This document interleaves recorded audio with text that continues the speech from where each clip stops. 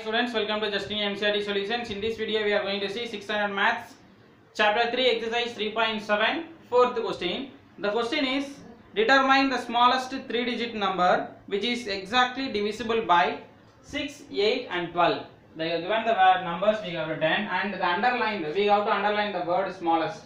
The meaning of smallest we have to find. Least common multiple LCM we have to find. So now First we are going to find LCM for the given value 6, 8 and 12. We are going to divide it by common number. Here 6, 8 and 12. If ones place are 6, 8 and 12, this number can be divisible by 2. 3 2s are 6, 4 2s are 8, 6 2s are 12. Now again we can divide this number by here also 3, 3. We can divide it by 3 common number. 1 3 is 3, 4 cannot be divisible so we written as it is 2 3s are 6 now we can divide it by 2 1 2 2s are 4 1 2 is 2 again we are dividing by 2 1 comma 1 comma 1 now LCM of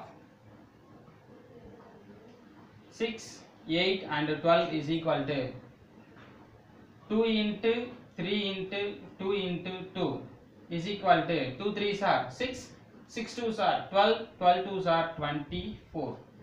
So LCM of 6, 8 and 12 is 24. Now we have to find the smallest 3 digit number.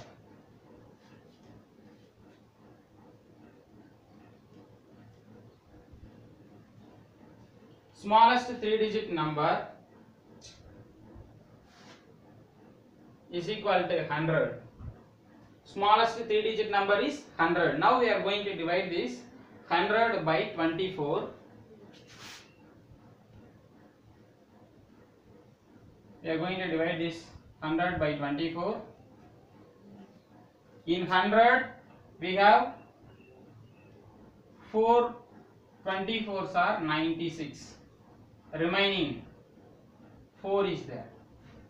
Remaining 4 here remaining is 4 and we should get the smallest three digit number which should which is divisible by both 6 8 and 12 so if we are adding here remaining is 4 so if we are adding 20 plus 4 is equal to 24 this number can be divisible by 24 so we are going to add this 20 with 100 100 plus 20 is equal to 120.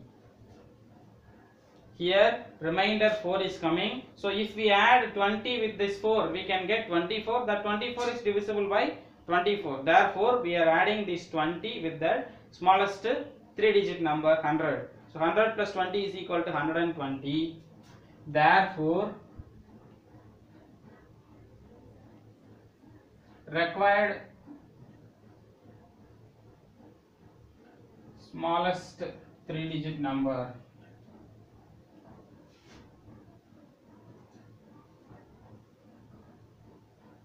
is 120 okay that's all students. Kindly give your suggestions in the comments box and share this video to your friends and subscribe the channel. Thank you